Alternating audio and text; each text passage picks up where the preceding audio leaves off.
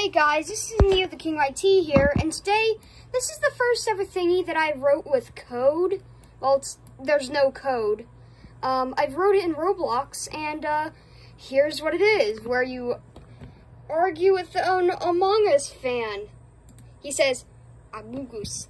Among Us is dead, you bone, you bone, which is supposed to mean to say bonehead and then bye weirdo, which just exits the chat, and he says, "You dare question the name of the mighty Jimmy?" So uh, there's that. Yes, you really can't play it for some weird reason. So uh, yeah. Okay, guys, I've realized that uh, I've unanchored. Everything is unanchored. Uh. Among Us player, the Among Us guy is dead. He is dead.